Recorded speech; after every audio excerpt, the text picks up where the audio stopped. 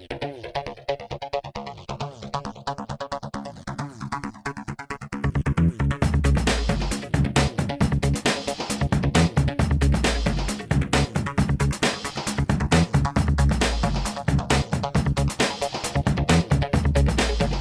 is a great product. This is called the HairMax Laser Comb. Because you don't have to use it that often. George, you're on the laser comb. Have you noticed a difference?